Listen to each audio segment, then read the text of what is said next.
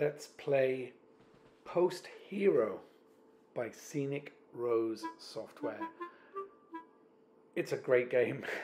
Um, exploration, fetch quest, walking, very chilled, gentle puzzles, beguiling characters, quirky wit. Really nice um, experience all round. Really enjoyed it. I completed the game, which is rare for me to complete a game, so that was nice to uh, achieve. The art style is, I think, perfect. It's really wonderful. It's just a series of vignettes with some secrets and stories to be told in each one. It's very gentle, it's not super deep, but it's really, really quite a pleasing experience and definitely worth checking out if you like a kind of relaxing, you know, gently challenging game. Uh, the humor carries it through. The characters are quite interesting. The scenarios are, you know, engaging enough to keep you thinking, well, what will happen next? And there's an end goal which you complete. So it's a very satisfying experience.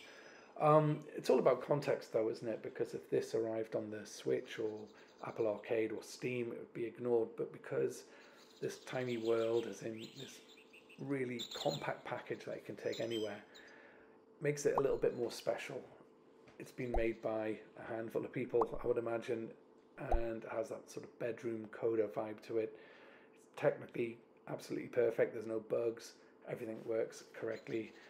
It looks great. The sound is wonderful. Again, a tiny device with this little front-facing speaker, but it sounds so good. Uh, I'm sure it sounds great on headphones as well.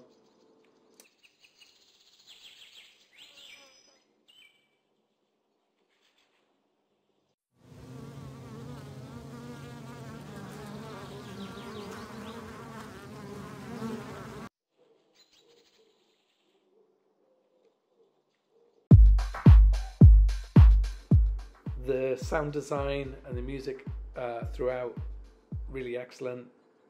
Fits each scene. It's varied. Uh, it's well thought out. Enjoyable and ambient when it needs to be but making a point when it needs to as well. Really good stuff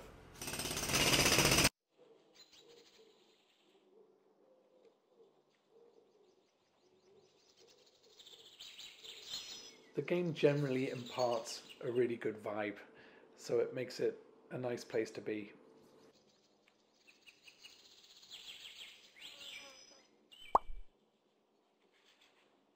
It's not very deep. Um, you know, uh, it's it's it's pretty service level, but it's it's quirky and it's fun.